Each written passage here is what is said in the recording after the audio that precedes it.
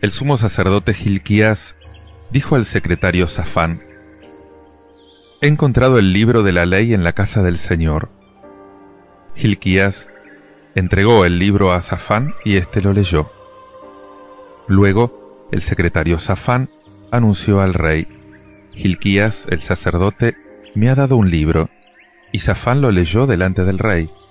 Cuando el rey oyó las palabras del libro de la ley, rasgó sus vestiduras y dio esta orden a Gilquías el sacerdote, a Ahicam, hijo de Safán, a Acbor, hijo de Miqueas, a Safán el secretario y a Asaías el servidor del rey. Vayan a consultar al Señor por mí, por todo el pueblo y por todo Judá, acerca de las palabras de este libro que ha sido encontrado. Porque es grande el furor del Señor que se ha encendido contra nosotros, ya que nuestros padres no han obedecido a las palabras de este libro, y no han obrado conforme a todo lo que está escrito en él. El rey mandó que se reunieran junto a él todos los ancianos de Judá y de Jerusalén, y luego subió a la casa del Señor acompañado de todos los hombres de Judá y de todos los habitantes de Jerusalén, los sacerdotes, los profetas y todo el pueblo, desde el más pequeño al más grande, y les leyó todas las palabras del libro de la alianza que había sido hallado en la casa del Señor. Después, de pie sobre el estrado, el rey selló delante del Señor la alianza que obliga a seguir al Señor y a observar sus mandamientos, sus testimonios y sus preceptos, de todo corazón y con toda el alma, cumpliendo las palabras de esta alianza escritas en aquel libro, y todo el pueblo se comprometió en la alianza.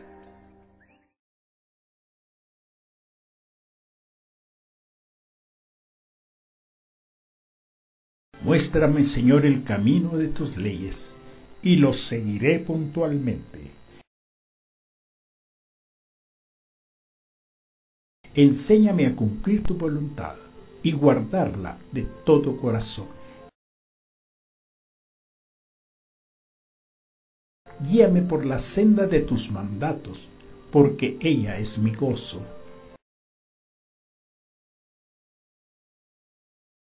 Inclina mi corazón a tus preceptos y no al interés.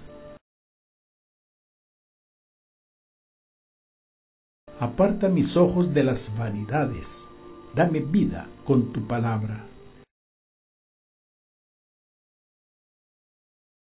Mira cómo ansío tus decretos, dame vida con tu justicia.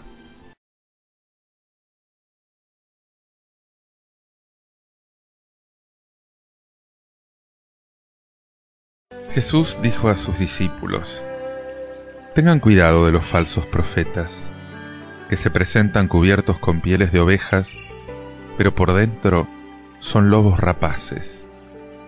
Por sus frutos los conocerán. ¿Acaso se recogen uvas de los espinos o higos de los cardos? Así, todo árbol bueno produce frutos buenos, y todo árbol malo produce frutos malos. Un árbol bueno no puede producir frutos malos, ni un árbol malo producir frutos buenos.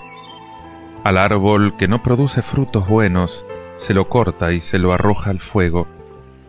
Por sus frutos, entonces, ustedes los reconocerán.